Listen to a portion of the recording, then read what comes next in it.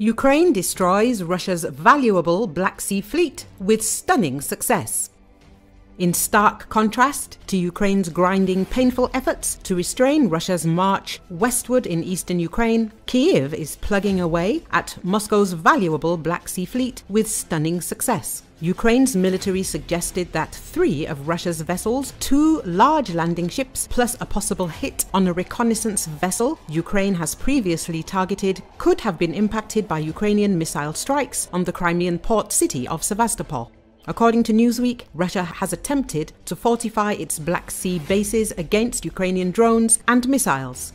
It has wielded decoys to confuse Kiev's operators, British intelligence assessed last week, and Moscow has announced it will beef up the protection around its fleet with large caliber machine guns to shoot down incoming naval drones before they strike Russian vessels.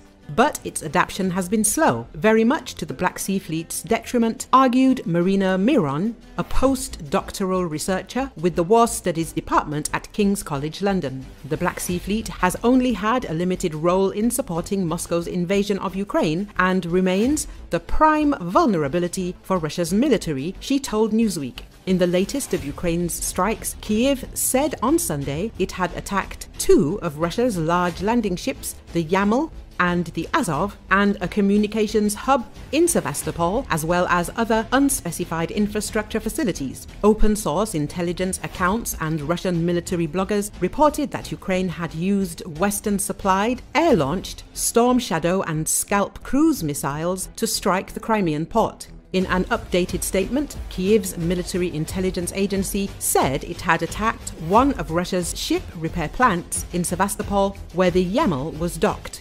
We can confirm that both landing ships were damaged, said Captain Dmitro Pletenchuk, a spokesperson for Ukraine's navy, according to Ukrainian media.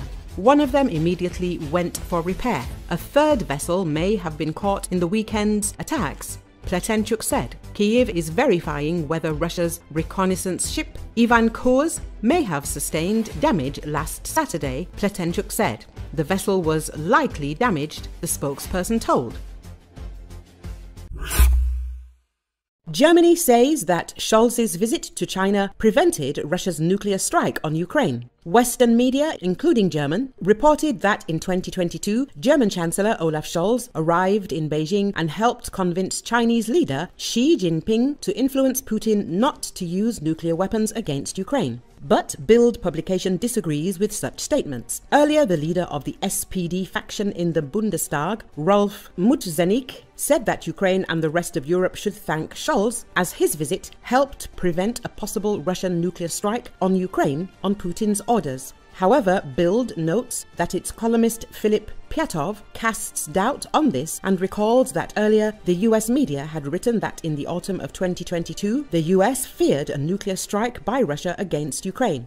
China was involved in preventing it, after Olaf Scholz's visit to Beijing, the Chinese authorities called for the non-use of nuclear weapons. As early as 2022, the American media wrote that Scholz's role in Beijing was minimal and that he only passed on information from Washington. In response to Bild's request, the Chancellor's office quoted his words from November 2022 after a meeting with Xi Jinping. In Beijing, I asked President Xi to use his influence on Russia. On one hand, the Americans threatened the Russian Federation. On the other hand, and the Chancellor was involved in this, we managed to get China and India to sign a declaration in which they spoke out against the use of nuclear weapons in general and in Ukraine in particular.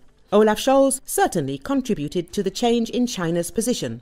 But in any case, Scholz did not prevent a nuclear war, as there were no signs that a nuclear strike was imminent. Military expert Carlo Masala, a professor at the Bundeswehr University in Munich, told Bild Earlier, it was reported that if the Russian president believes that it is enough for him to just sit out this war and we will weaken our support, then he miscalculated. Also, German Chancellor Olaf Scholz announced the creation of a long-range rocket artillery coalition for Ukraine and the Bundestag reported that Scholz would eventually provide Ukraine with Taurus missiles.